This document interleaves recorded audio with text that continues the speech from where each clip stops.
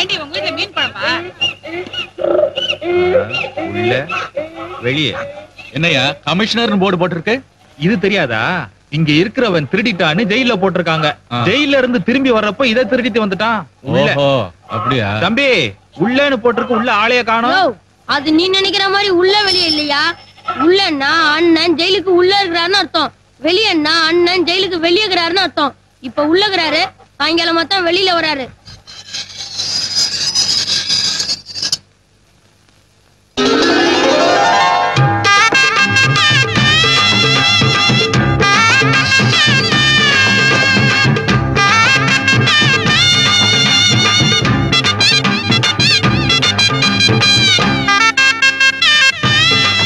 தீப்பெட்டி இருக்குதா?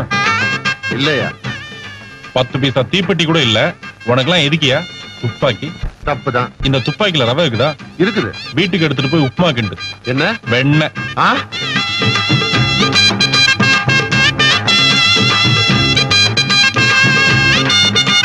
கரண்ட் இல்லீங்க?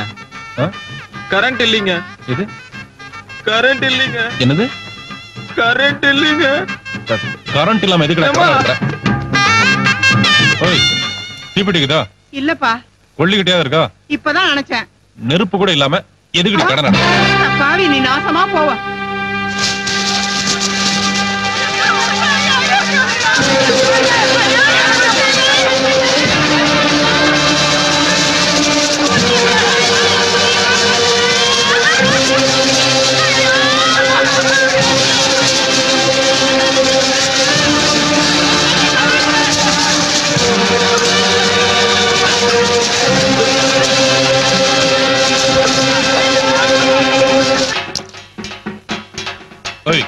ஒரு டீ குடு. வணக்கம் ம்.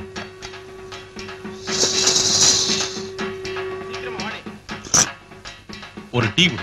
இப்ப கொடுத்த டீ தாங்க. அப்படிங்களா? வாய் கொப்பளிக்க சுடுதண்ணி கொடுத்தீங்கன்னு நினைச்சேன். ஒழுங்கா நல்லா ஸ்ட்ராங்கா டீய போடுறேன். இனி அங்க ஒரே சத்தம்? நம்ம ராஜா பத்திர செத்து போயிட்டாரு. சீக்கிரமா தூக்க சொல்லு. போன நார போகுது. தனியா. யாரா செத்து போனது? நம்ம ராஜா பாதர்னு. நம்ம ராஜா பாதரா? ஆமாண்ணே. அத விவரமா சொல்றதுக்கு என்னடா? அண்ணன் நான் முதல்ல சொன்னேன்னு எங்கடா நீ விவரமா சொன்ன? நம்ம ராஜா பாதர் செத்து போடாத துக்கத்தை இவ்வளவு பெரிய துக்கத்துக்கு டீயாடா குடிப்பாங்க முண்டோ. போடா. துக்கம் தாங்க முடியடா என்னால. ஆமாண்ணே. நானும் ராஜா பாதரும் ஒன்னாவே கோலி அடிச்சு ஒன்னாவே சைட் அடிச்சோட்டா இப்ப அவர் மட்டும் என்ன விட்டு போயிட்டார? தாங்க முடியுமா என்னால? வாய திறந்து சொல்லேன்டா. ஆமாண்ணே. முடியாது இல்ல முடியாது. ராஜா பாதர ராஜா பாதர பார். ராஜா பாதர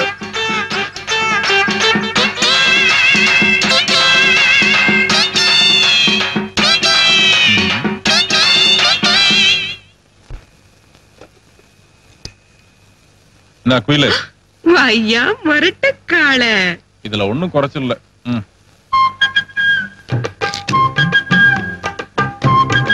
விஷயத்துல கொண்டே பட்டம் கொடுக்கலாம் ஐயா. பேசியே ஆள அவுட் ஆகிடுவிய எவ்வளவு மாமலா குடுக்கற ஐம்பது ரூபாயே கூட. சுமாரான மார்க்கெட்டுக்கு இந்த போடு போடுறிய. சூப்பர் மார்க்கெட் இருந்தா அவ்வளவுதான் இந்தா?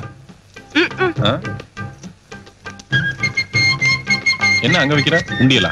இல்லையா. மனசாட்சியை வித்து வியாபாரம் பண்ணிட்டு இருக்கேன். சம்பாதிக்கிற காசாவது மனசுக்கு பக்கத்திலேயே இருக்கட்டுமேனுதான் குடுக்குற காசுக்கு பாதிக்கு பாதி பேசியே தீத்துருவிய நீ சாப்பிட்டியா அப்புறம் நானும் இதே மாதிரி பண்ணுவேன். ஐயோ ஐயோ. வேணாம் ஐயா அவசரப்படாதயா நானே வரேன் பச்சை மலை சாமி ஒண்ணு உச்சி மலை ஏறுதுன்னு எடுடா தம்பி மேளம். கொஞ்சம் இதமா அண்ணே முன்னாடிக்கு யாரோ வராங்கண்ணே. டேய் அதுக்கெல்லாம் எவனா ஒருத்தன் ஒரு பதினஞ்சு மாசத்துல பிறக்கணும்டா. ஏய் நீ தான் தலைவர் போஸ்ட்ல சாணி அடிச்சியா? ஆமாப்பா ஐம்பது ரூபாய் கொடுத்து அடிக்க சொன்னாங்க அடிச்சேன். அதுக்கு என்னான்ற நீ? சாணி அடிச்சவனை சாகடிக்க சொல்லி தலைவர் அனுப்புனாரு. தலைவரே நேர்ல வந்திருக்காரு. தலைவர் மட்டுமா வந்திருக்காரு? அவங்க தாத்தா வரல? இப்ப என்னடா சண்டை போற முடிவோட வந்துட்டீங்களா? அதுக்கே தடியெல்லாம் எடுத்து வந்தீங்க? நடக்க முடியலையா? நடக்கவே முடியல நீங்க எப்பறம் அடிக்க போறீங்க? அதுவும் இல்லாம எனக்கு ஃபைட் பண்ற மூடே இல்ல. அதனால என்ன பண்றீங்க? இந்த பையனை கூட்டிட்டு போய் கில்லி தண்டை ஆடுறீங்க. கில்லி தண்டை ஆட தெரியல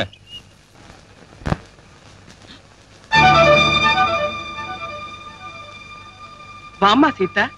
எப்போ வந்த?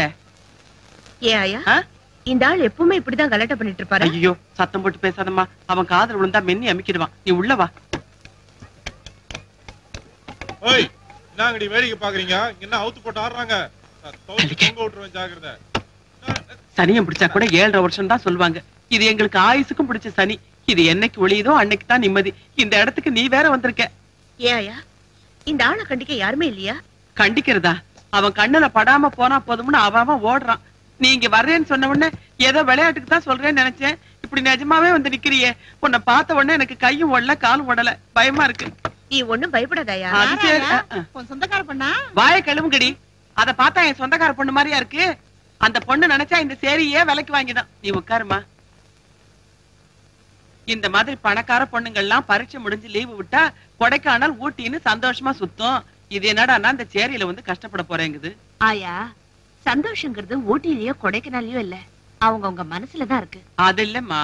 நோம்புக்காக ஒரு வேளை இல்ல ஒரு நாள் பட்டினி கிடக்கலாம். நீ வீம்புக்காக இங்க வந்து ஒரு மாசம் தங்க போறேன்னு சொல்றியே. ஆமா மாச கணக்கா இங்க தங்கி. அப்படி என்னதான் பண்ண போற? அது வந்துங்க. இந்த இந்த சேரி ஜனங்களை பத்தி நான் ஒரு கதை எழுத போறேன்.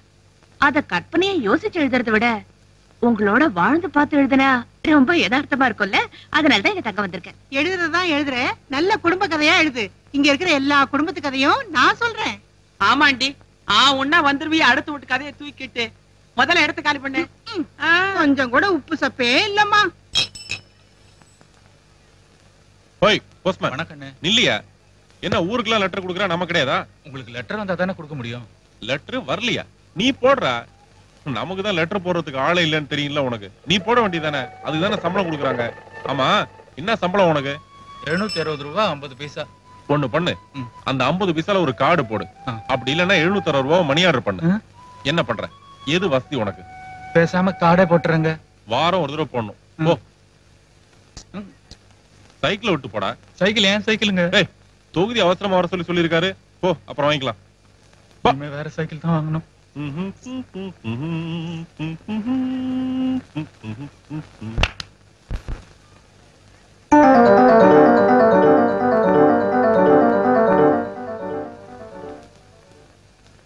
வீல் சுத்துது அடிங்க. என்னங்கடி இவன் எங்கடா இங்க வந்தா? ஏத்த வீட்டுக்கு யாரோ புச்சம் வந்துக்கிறாங்கண்ணே. உன் மரியாதைக்கு நீலாம் அவளாண்ட பேசக்கூடாது. நானே பேசிக்கிறேன் அத்தை. நீ போ. சொல்லி வை. பேஜாராயிடுவா பஞ்சர் ஆகிட வேணாம் நானே பண்ணிட்டு நிறுத்திடுறேன்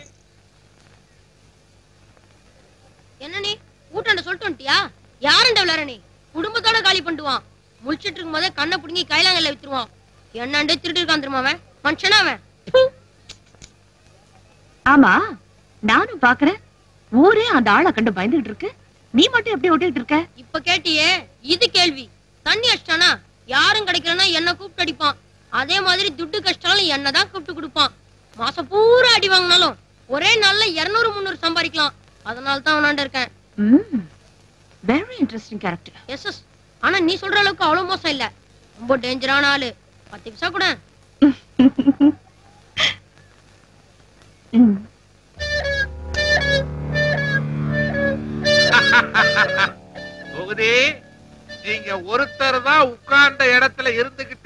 எல்லாத்தையும் ஆட்டி படைக்கிறீங்க. பார்சல் கம்பெனி பேரால ஏழு எட்டு லாரிகளை வச்சுக்கிட்டு கள்ளச்சாராயம் கடத்துறது கஞ்சா கடத்துறது கலப்பட சிமெண்ட கடத்துறது எல்லாத்துக்கும் மேல வெடிமருந்த கடத்துறது. ஆக மொத்தத்துல நீங்க இந்த தொகுதியில இல்ல இந்த தொகுதியே கெட்டு குட்டிச்சவரா போயிடும். இந்தா நம்மால் வந்துட்டான். நடைய பாத்தீங்களா இவன் அதுக்கு மேல. என்ன தொகுதி? ஏதோ அவசரம் வர இருக்கு.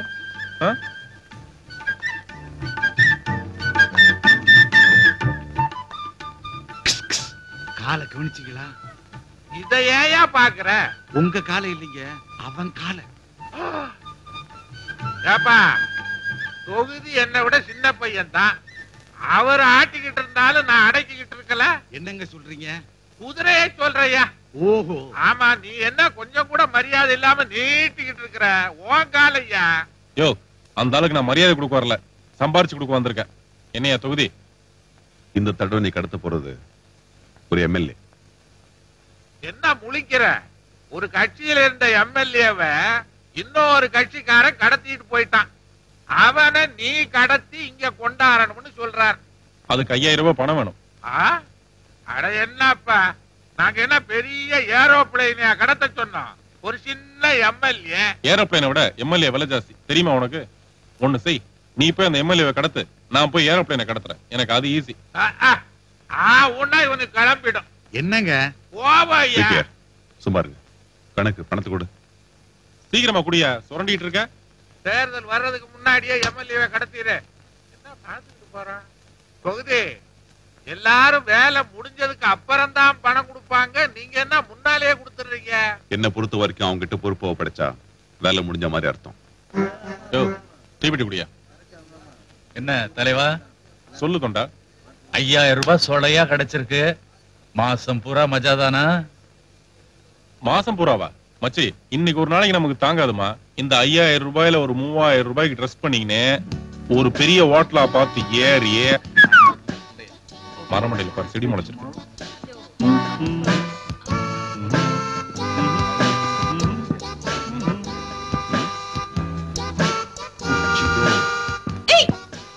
ஓ கண்ண திறக்கணும் மாமி. என்ன செட்டப்பா அள்ளி விடு. என்னங்கடா அது போர்டு ஏன்பா இந்த டேபிளுக்கு யாருப்பா? சீக்கிரமா கூப்பிடு. Welcome sir Sir, have you looked at the table, sir? ம் What do you like to have, sir? ம் to see the menu, sir? ம் We have South Indian dish, North Indian dish, Chinese, snack, drinks, ice creams, etc., etc., sir. என்ன sir வேணும்? ஆ, அப்படி கேளியா? நீ பாட்டுல தசு புசுன்னு இங்கிலீஷ்ல பேசினா புரிய வேணாமா நமக்கு? உங்களுக்கு என்ன சார் வேணும்? இந்த ஹோட்டல்ல இன்னொன்னு ஐட்டம் இன்னொன்னு ஐட்டம் இருக்குதோ? நல்ல வெள்ளையா உரிச்ச கோழிக்குமா என்ன? சும்மா சார் சும்மாவா? எப்பா இந்த ஹோட்டலுக்கு எல்லாம் யாருப்பா? இந்த ஆள் பார் போற ஒரு வெள்ளக்காட்சி எல்லாம் சைட் அடிச்சு நிக்கிறான். அப்புறம் அந்த இங்கிலீஷ் தாய் கூட நம்மளே தப்பா நினைக்கும்? தர வழுக்கிற அளவுக்கு தப்பு பண்ண தம்பி யாரு. இன்னொரு வாட்டி பண்ணு. பண்ணு. இந்த ஐம்பது ரூபா. இன்னொரு வாட்டி பண்ணு. பண்ணு. துணி ஓகே. இந்தா. இன்னொரு வாட்டி பண்ணு. பண்ணு. பண்ணு. பண்ணு. ஓகே. காலையில ஒருத்தன் சொன்னான் ஐயாயிரம் ரூபாய் இருந்தா மாசம் பூரா மஜா பண்ணலான்னு. ஒரே நாள்ல காலி. பீடி மட்டும்தான் மீதி. இந்த ஐம்பது பைசா வச்சுக்கோ. இது எதுக்கு சார் போய் சுத்தமா ஷேவ் பண்ணு பொண்டாட்டி ரொம்ப சந்தோஷப்படுவா.